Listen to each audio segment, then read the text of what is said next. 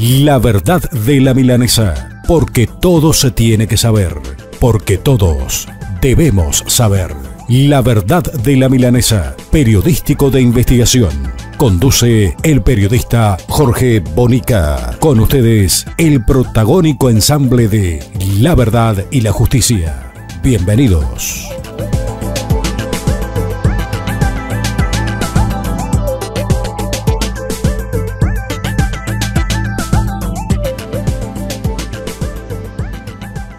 ¿Qué tal amigos? ¿Cómo les va? Bienvenidos a la verdad de la milanesa del día de hoy.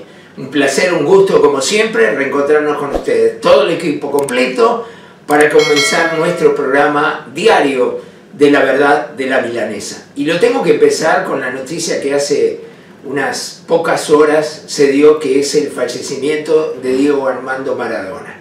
Creo que eh, murió el mejor jugador de fútbol del mundo que por lo menos yo, que me apasiona este deporte, vi en mi vida. Vi otros muy buenos, excelentes, quizás muy cerca de él como Pelé, también lo vi. Falleció Maradona, eh, aparentemente eh, un paro cardiorrespiratorio, eh, se va a hacer la autopsia, se va a tener una certificación oficial de la muerte de él.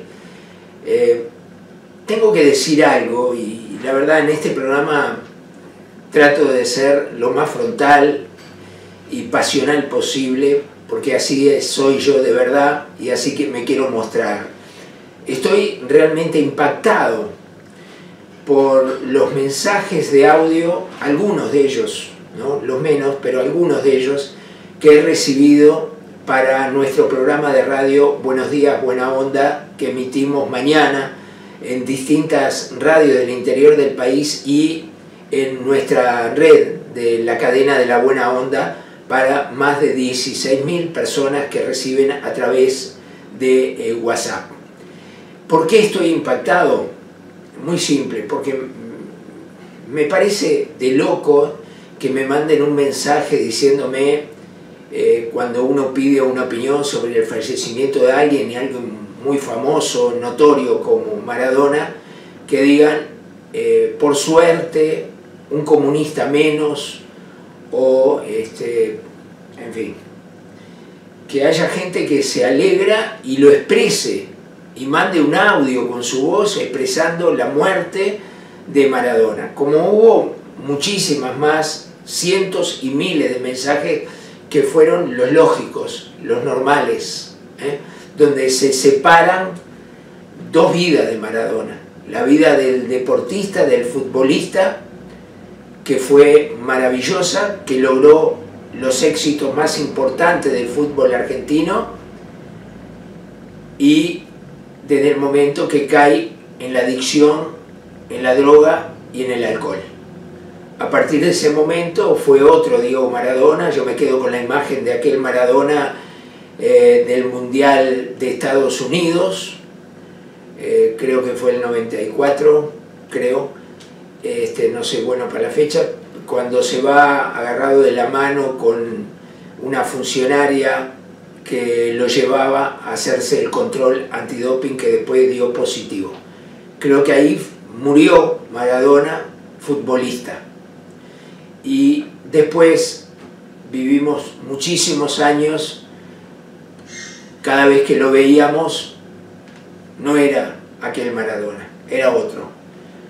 Era el Maradona adicto a la droga, a la cocaína, al alcohol, que lo fue destruyendo, sin duda. No hay que ser médico para opinar de otra manera. Y lo hizo irreconocible. Era un Diego Maradona que ya no podía sostenerse no podía siquiera hablar ni coordinar dos frases seguidas. Yo me quedo con la primera imagen y esa es la que a mí me da un dolor tremendo que se haya ido. Seguramente la otra imagen, el otro Diego Maradona, sea un alivio para él mismo descansar en paz. Pausa nuestros auspiciantes y volvemos con el final y el tema de hoy de la verdad de la milanesa. Ya volvemos. Gate, Uruguay. Despachantes de aduana. Servicio rápido, eficiente y eficaz. Nuestra principal labor es la liberación de sus mercancías en las principales aduanas del país. Consúltanos, te asesoramos sin costo. Email gateuruguay.gmail.com WhatsApp 099 48 73 24 Gate Uruguay. Despachantes de aduana. Mañana, eh, si ustedes quieren, con mucho gusto se hacen suscriptores mandando un WhatsApp al 098 344 228. Lo tenemos, Diego, lo podemos poner en pantalla. Lo ponemos, ahí está. 098 344 228. se hacen suscriptores, reciben todos los materiales que hacemos con Leo. Eh, la verdad de la milanesa, hablando claro, trancando fuerte eh, tenemos el semanario El Bocón completo también, en fin, todos los productos que nosotros hacemos en televisión, radio y diario los reciben en su celular en forma digital completos, absolutamente completos. ¿eh? Llamen ya mismo y lo sumamos con, Diego, eh, con Leo inmediatamente a la red de la cadena de la buena onda. El programa especial con todos los mensajes de audio que mandaron por la muerte de Maradona. Mañana lo van a tener a las 9 de la mañana en el Buenos Días, Buena Onda de Radio. El tema que hoy nos ocupa va a ser cortito nada más. Es la, la venida del presidente de Argentina, Alberto Fernández, al Uruguay, precisamente en el departamento de Colonia y más precisamente a la estancia presidencial de Anchorena para eh, verse con la calle Pou, con nuestro presidente. Yo voy a decir algo, pero tengo el peor de los conceptos de Alberto Fernández, me parece un hipócrita, un tipo que estuvo durante tres o cuatro años eh, diciendo de todo contra Cristina Kirchner, eh, criticándola duramente en un montón de aspectos, hasta en el aspecto personal de Cristina Kirchner, hasta el aspecto judicial de Cristina Kirchner, y después se dio vuelta como una media cuando Cristina le fue a ofrecer ser el presidente de los argentinos y ella ser en la fórmula la vicepresidenta.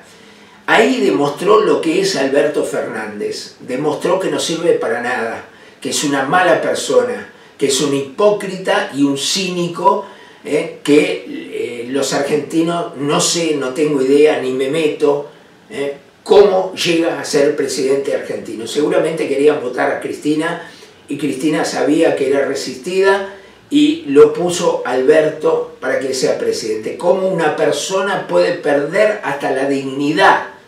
Hasta la dignidad, las cosas que dijo Alberto Fernández de Cristina no está escrito. Y en el programa Hablando Claro del próximo sábado vamos a pasar y vamos a hacer un informe especial de Alberto Fernández antes de venderse por el vil precio de la necesidad y de llegar a la presidencia de la República. Un títere de Cristina. Y alguien además, alguien además, que se hizo una intromisión directa en el Uruguay en las elecciones, ¿eh? pateando a favor del Frente Amplio, de Daniel Martínez, ¿eh? se metió en, en todo en el Uruguay intentando favorecer el triunfo del Frente Amplio. Eso no se hace eso alguien que tenga ética, claro, Alberto Fernández no sabe lo que es la ética, ¿eh? no sabe, no tiene ni idea lo que es la ética, es simplemente un hipócrita y un cínico que está de presidente de los argentinos, manejado por Cristina como si fuera una simple marioneta. Y ustedes van a ver cuál es el final de esta película cuando Cristina acceda a la presidencia de la República antes que termine el periodo presidencial de Alberto. Ya lo van a ver. Lo cierto que la calle Pou demostró, y aplaudo de pie, una educación sublime, una tranquilidad y una paciencia sublime, que representó muy bien a los uruguayos al recibirlo de esta manera. Pero que hay un factor especial de por qué Alberto vino al Uruguay. Vino al Uruguay porque es amigo íntimo del ministro de Relaciones Exteriores Bustillo. Y Bustillo fue el que lo trajo, y Bustillo fue el que le pidió a la calle Pou que lo reciba, porque no debía recibirlo. Tenía que haberle dado una buena patada en el culo y, pasarlo sin tomar el, avión o el helicóptero a, Buenos Aires, dejarlo en la casa rosada de una patada en el orto bien dada, era lo que había tenido que dar. Y esa patada en el culo tenía que ser en nombre de todos los uruguayos no la calle Pou. En nombre de todos los uruguayos le tenía que haber dicho, acá no queremos cínicos, hipócritas y menos gente que intervino en la campaña política, en una clarísima intromisión a nuestra constitución de la República. Claro, ese hombre no le importa nada. Después que le vendió el alma al diablo para ser presidente de la República y aceptó abrazarse con quien él había criticado duramente, no le importa un carajo. Pero sí quiero destacar, primero lo vuelvo a hacer, la educación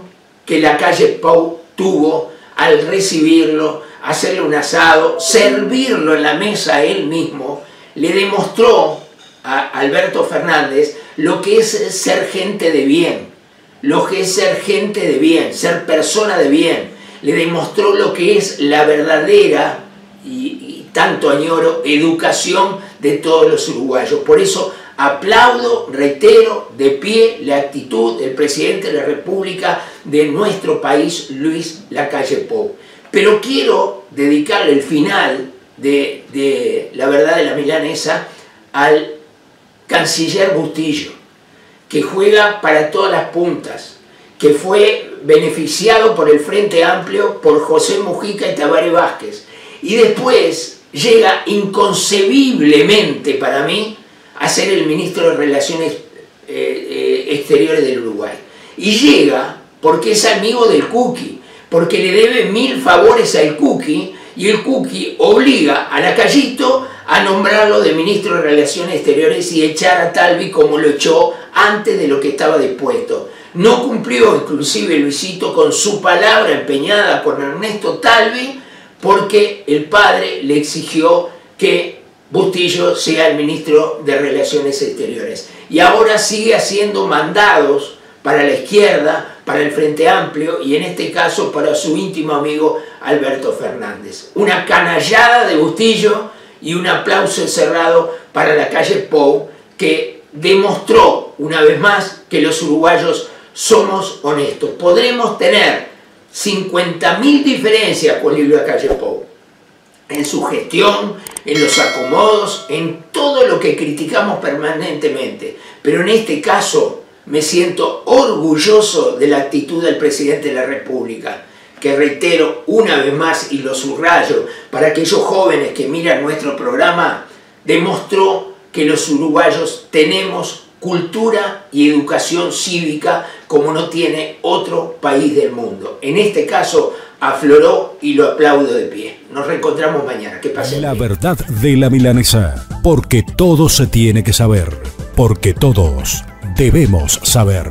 La verdad de la milanesa, periodístico de investigación.